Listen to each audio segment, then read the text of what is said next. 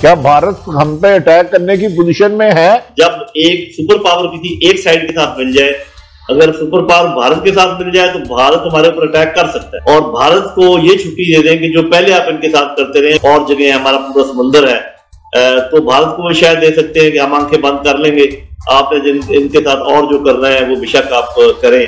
अब सी के जो डायरेक्टर साहब आया भारत होकर आया उन हिंदुस्तान से होकर आ रहे हैं। तो इसका मतलब यह है कि गंभीर है मामला।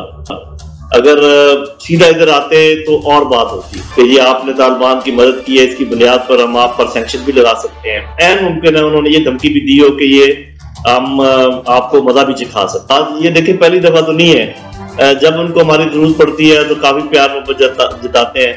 और जब ज़रूरत खत्म हो जाती है तो एक मिनट नहीं लगाते और धुले हुए कपड़े की तरह फेंक देते हैं। फरमाए कि ये मुलाकात कितनी आम है, इंडिया से वो तशरीफ़ ला रहे हैं तो कुछ आदतें बदलनी पड़ रही हैं आजकल अमेरिकन एम्पीरियलिज्म को यहाँ पर। अब हमसे पहले तो हमें डांट डपटी होती थी तो ये कुछ क्या माहौल बदला है? जनरल साहब, और बात क्या हुई है? आप क्या समझते हैं क्या हुई होगी? जनरल साहब।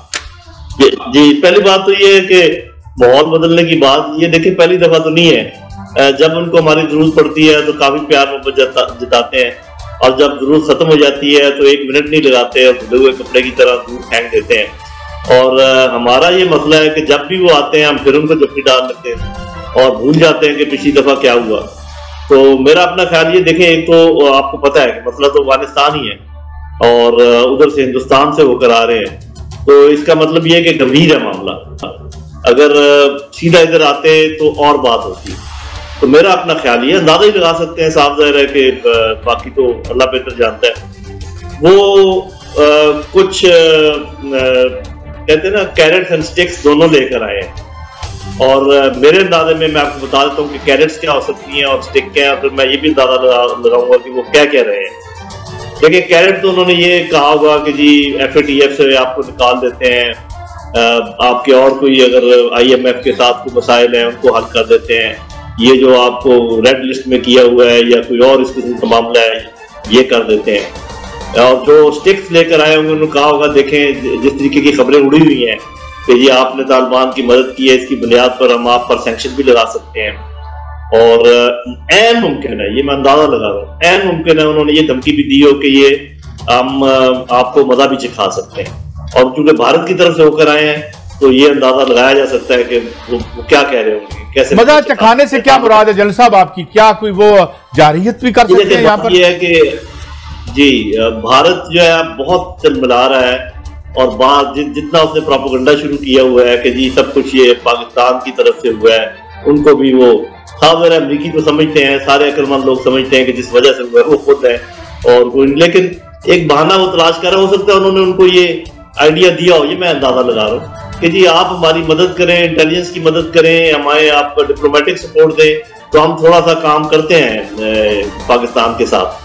लेकिन वो मैं उन लोगों में से हूँ जो कहता हूँ कि भारत को ऐसी शरारत करे तो इनशाला उसके नतीजे में कश्मीर आज़ाद हो जाएगा और शायद भारत में कुछ हिस्सा भी चला जाए। ये तो खैर बात के बात तो ये ये बातें हैं। अब वो क्या कह रहे हैं? वो पैंतरा बदल के आना चाह रहे हैं। मास्क दूसरा पहन के आना चाह रहे हैं। वो फिजिकली तो यहाँ से निकल गए।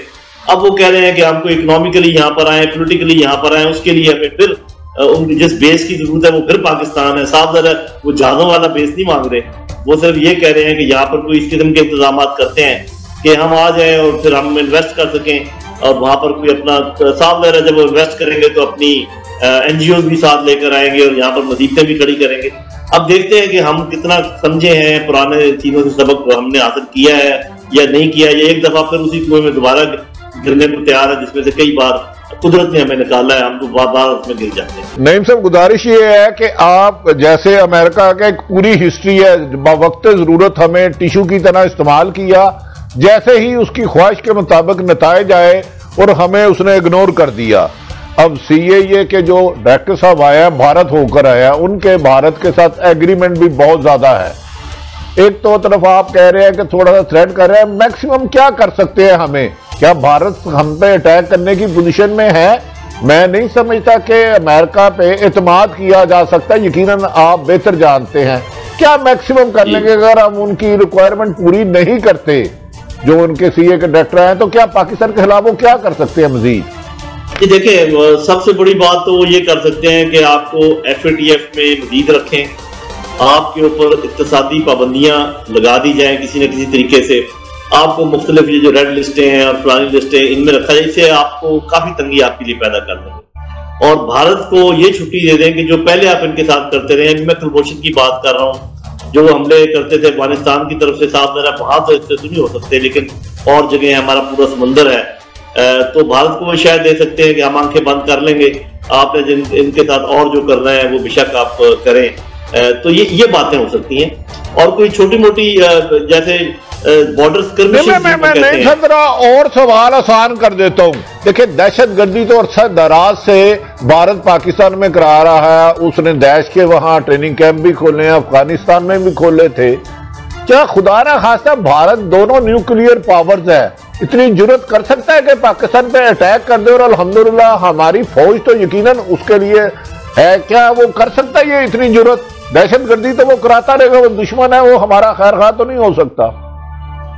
हाँ बिल्कुल आप सही कह रहे हैं। देखिए फुल फ्लैश अटैक के तो इम्कान बहुत कम है। आ, लेकिन आ, जब एक सुपर पावर किसी एक साइड के साथ मिल जाए अगर सुपर पावर भारत के साथ मिल जाए तो भारत हमारे ऊपर अटैक कर सकता है।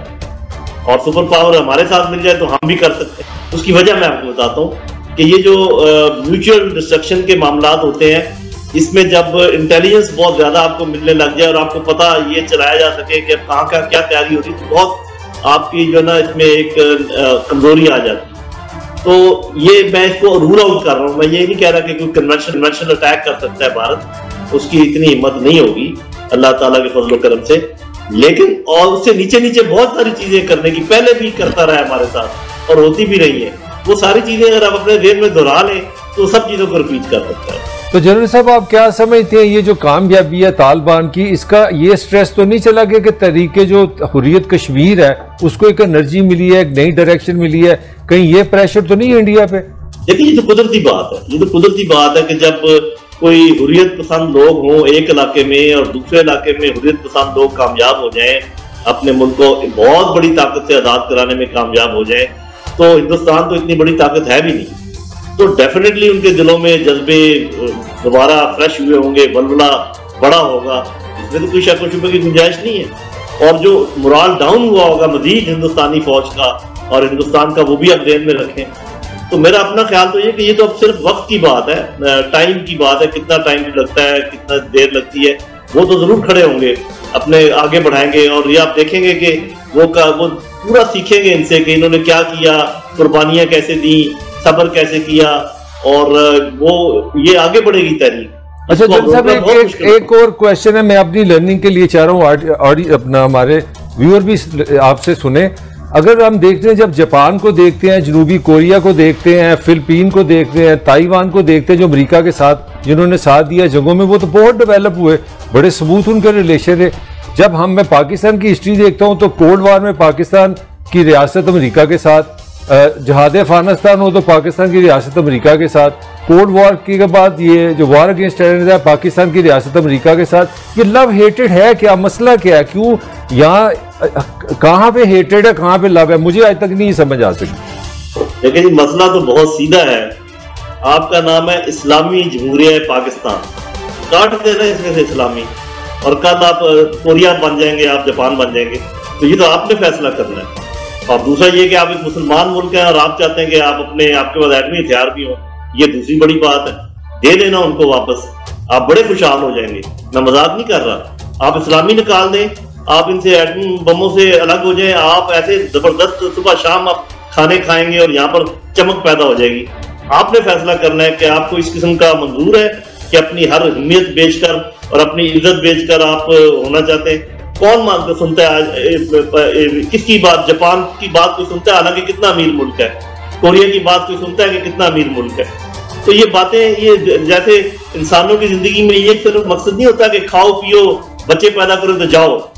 ऐसे ही ये, जो कौमों की होती है ज़िंदगी, इसका ये मतलब नहीं होता कि आपको खुशहाल होना चाहिए, रोटी होनी चाहिए खाने के लिए और उसके बाद खाओ, पियो और जाओ। पाकिस्तान एक किसी बुनियाद पे खड़ा है। नहीं नहीं नहीं साहब मैं इधर रोकूँगा गुजारिश ये है कि आपने फरमाया कि अपनी इज़्ज़त बेच दो अपना वकार बेच दो न्यूक्लियर तो ऐसी ज़िंदगी से बहुत बेहतर है कि इस्लाम में जद्दोजहद का हुक्म है जहाद का भी हुक्म है लेकिन इतने सत्तर साल कुर्बानी देने के बाद अगर गुलामी की जंजीरें हमने अमेरिका या भारत से पहननी है तो ऐसी ज़िंदगी का फ़ायदा क्या? ये तो अब मेरा ख्याल है हुकूमत पाकिस्तान को जैसे आप इशारा कर रहे हैं अब फैसला करना होगा कि हमने इज़्ज़त की ज़िंदगी जीना है या गुलामी की जंजीरें बनाए रखना बाईस करोड़ आवाम